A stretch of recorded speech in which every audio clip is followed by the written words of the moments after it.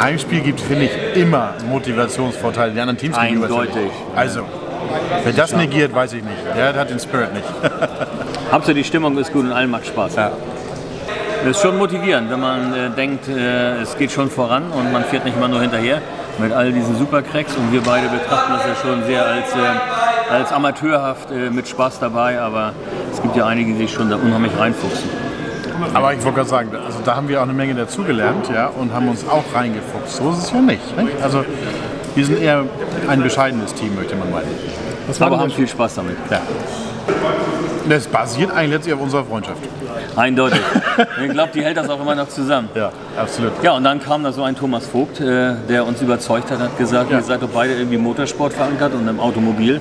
Und habt ihr nicht Lust und könnt ihr euch nicht vorstellen, äh, Prototypenmuseum und Shell und ihr beide persönlich und fahrt doch mal mit. Und dann haben wir irgendwie ziemlich naiv angefangen und haben immer gesehen, Machen wir mal. machen wir mal und sind irgendwie ziemlich hinterhergefahren, bis wir uns mal ein bisschen dann schlau gemacht haben und ein bisschen Assistenz bekommen haben. Und jetzt haben wir ein tolles äh, Team und jeder von uns hat einen Partner und deshalb gibt es das Prototyp Shell Team mit zwei Teampartnern und Ja, Shell, Shell Prototyp. Prototyp, Genau. auch mit zwei.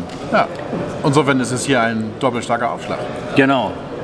Ich, mal, ich habe ja hier mit meinem, mit meinem äh, Teammate sozusagen, also den Vollprofi an meiner Seite, ja, das bestärkt mich natürlich auch. Also ich bin eher der emotionale Faktor hier. Ähm, versuche auch durch, durch gutes Fahren zu überzeugen. Ähm, aber ich sag mal, die Motorsporterfahrung, die bringt natürlich Wolfgang mit, ist ganz klar. Dafür bin ich erstens zu jung und zweitens auch noch nie so aktiv gewesen wie Wolfgang. Aber äh, ich finde, viel Leidenschaft und Begeisterung für ein Thema reichen manchmal schon. Ach, ich finde so, die Erlebnisse beim 24-Stunden-Rennen, die finde ich machen immer am meisten Spaß, ehrlich gesagt. Und da haben wir ja einmal das große Glück gehabt, auch das wirklich gewinnen zu dürfen. Weil da gehört ja so viel äh, wie nicht nur Können, sondern auch irgendwie noch das Quäntchen Glück dazu. Und äh, in der Nacht oder in den 24 Stunden, 20 Stunden passte irgendwie alles für uns. Das, äh, also ein ruhiges Händchen, Motivation, ähm, Freude am Fahren, Team hat gepasst und irgendwie auch Glück gehabt. Insofern, das war schon außergewöhnlich toll.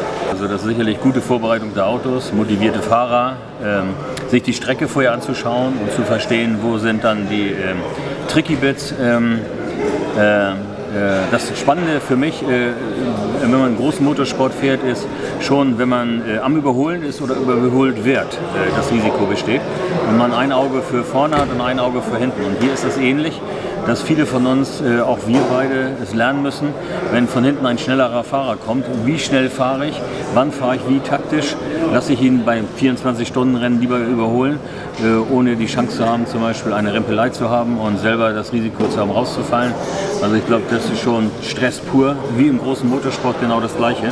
Verlangt Selbstdisziplin. Eindeutig. ähm, äh, hat aber den großen Vorteil, wenn man hier rausfliegt, tut es einem nicht weh und ist nicht ganz so teuer. Also von daher ist, glaube ich, die Hemmschwelle doch ein bisschen kleiner als im großen Motorsport, wo es dann manchmal schon äh, nicht gut ausgeht.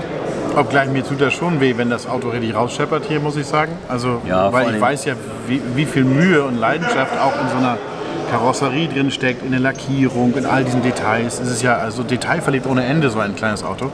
Und soll ja bestenfalls ganz, ganz dicht an die Realität rankommen.